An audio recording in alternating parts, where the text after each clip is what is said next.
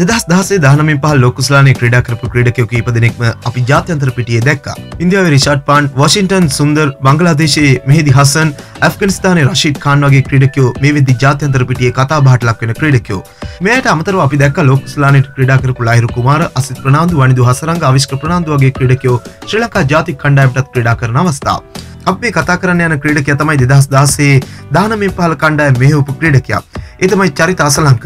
අසලංක පාසල් ක්‍රඩකෙක් විදිහට ක්‍රඩා කරපු විදිහට ශ්‍රී ලංකාවේ ක්‍රඩා විචාරකයෝ නෙවෙයි ජාත්‍යන්තර ක්‍රිකට් විචාරකයනොත් කිව්වේ අසලංක ඉන්නේ ශ්‍රී ලංකා ජාතික කණ්ඩායම පෙනෙන දුරකින් කියලා.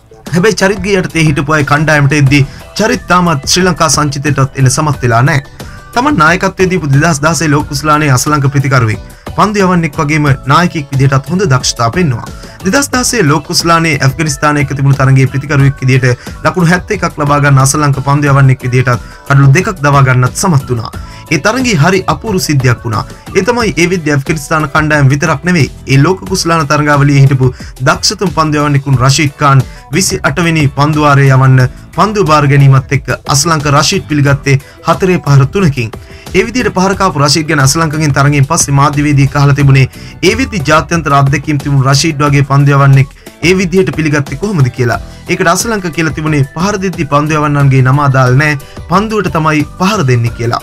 කොමුණත් එදා අසලංක පහර දුන්නු රෂීඩ් දැන් ලෝකේ අංක එකේ පන්දු යවන්නෙක්. ඒ වගේම ලෝකේ අඩුම තරම් ගන්නකින් ජාත්‍යන්තර එක් දින කඩලු 100 ගත්ත පන්දු යවන්න.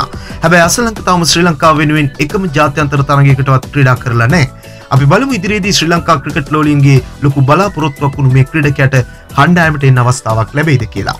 මෙවැනි වීඩියෝ දිනපතා බලන්න අපිත් එක්ක එකතු වෙන්න. වීඩියෝට පහලින් තියෙන රතු පාට subscribe button එක ක්ලික් කරලා අපිව subscribe කරන්නත්, ඒ වගේම ක්‍රිකට් වලට කැමති ඔබේ යහළුවෙකුට බලන්න මේ වීඩියෝ එක share කරන්නත් අමතක කරන්න එපා. තවත් අලුත් වීඩියෝකින් හමු වෙනතුරු ක්‍රිකට් ලංකා තුලින් ඔබට සුබ දවසක්.